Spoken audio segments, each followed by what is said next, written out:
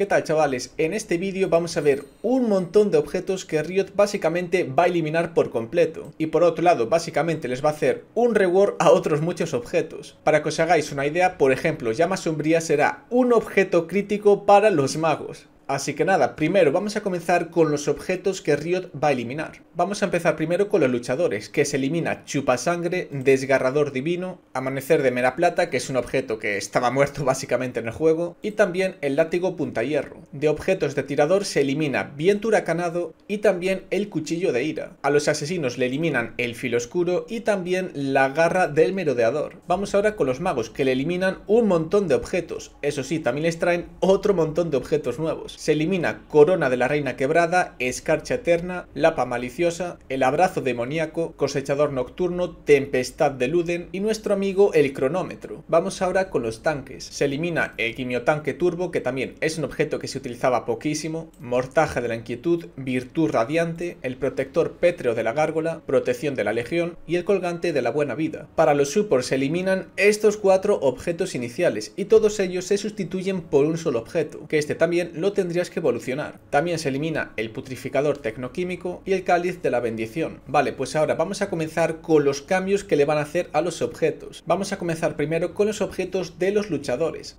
Tenemos por aquí Hidra Voraz, que básicamente vuelve a recuperar otra vez la activa. De hecho, tú cuando la tires harás daño en área y quitarás un 80% de tu daño físico total. Además de que también aplica robo de vida. Y bueno, la pasiva va a ser la de siempre, que tú con los ataques tienes daño en área. Por otro lado tenemos Hidra Titánica, que también va a tener una activa. De hecho, tú cuando la uses, tu siguiente ataque hará más daño y encima en más área. Y bueno, tiene aquí la pasiva en la que los ataques infligen daño físico adicional al impactar y daño físico a los enemigos tras el objetivo. Vamos ahora con el rompecascos que recibe aquí unos cambios bastante curiosos. Los ataques básicos otorgan una acumulación hasta un máximo de 5. Cuando ataques a un enemigo o a los monstruos consumes todas las acumulaciones y esto básicamente hace daño físico adicional, que bueno, se multiplica mucho más en caso de que se traten de torres. Por otro lado, los súbditos de asedio y super súbditos aliados cercanos conseguirán armadura física y mágica. La activa de cortasendas básicamente ya no va a hacer daño. Lo que pasa es que a partir de ahora podrás moverte mientras activas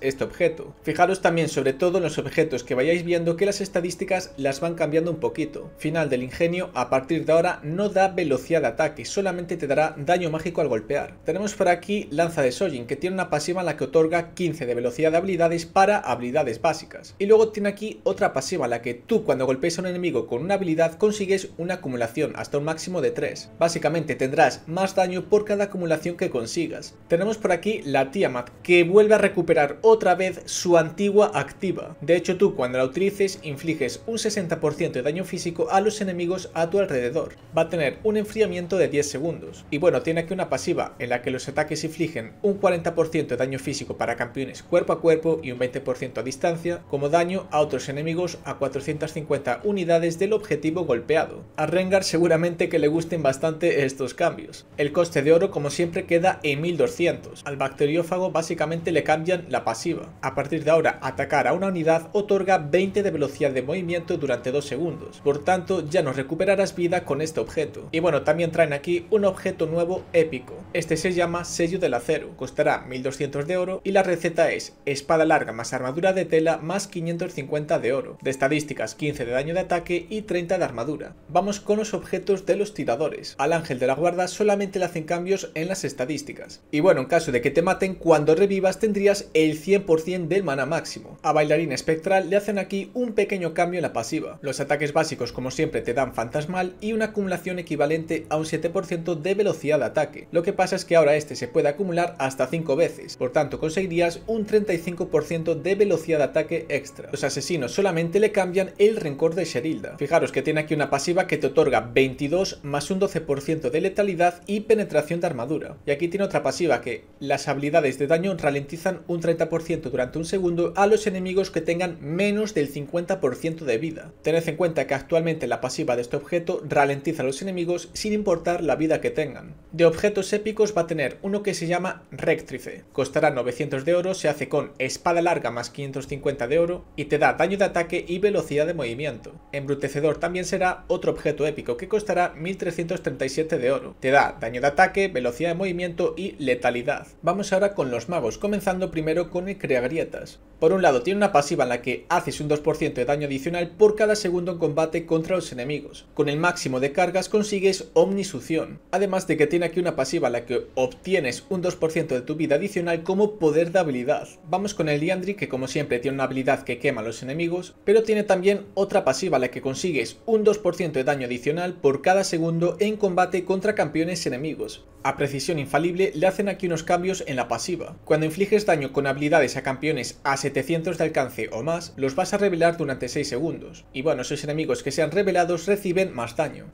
Pero también cuando reveles a un enemigo con esa pasiva, revelas a los demás campeones que estén a una distancia de 1200 unidades durante 2 segundos. El brazalete de la buscadora a partir de ahora básicamente va a tener la activa de cronómetro. Y tú cuando la utilices se transforma en brazalete quebrado al usarlo. Vamos, es básicamente el cronómetro solo que lo fusionaron con el brazalete. Llama sombría, el daño mágico y daño verdadero asestan impactos críticos a los enemigos que tengan menos del 35% de vida, lo que esto inflige un 20% de daño adicional. Impulso cósmico, infligir daño a un campeón enemigo con una habilidad otorga velocidad de movimiento adicional durante 2 segundos. A la vara de las edades le eliminan una parte de la pasiva, en la que por cada 200 de vida o mana restaurados con eternidad conseguías velocidad de movimiento. Al toma amplificador fijaros que le cambian el coste de oro. A partir de ahora será en 400. El poder de habilidad queda como siempre. Parece ser que solamente va a recibir el cambio de oro este objeto. Por tanto, si tú por ejemplo quieres comprarte el capítulo perdido, te seguiría costando 1100 de oro. Pero bueno, al menos te sería un poquito más barato comprar este objeto. Ahora toca ver los tanques, comenzando primero con Jaxo el Proteico. Fijaros que por cada segundo combate contra campeones consigues una acumulación hasta un máximo de 5. Con el máximo de acumulaciones te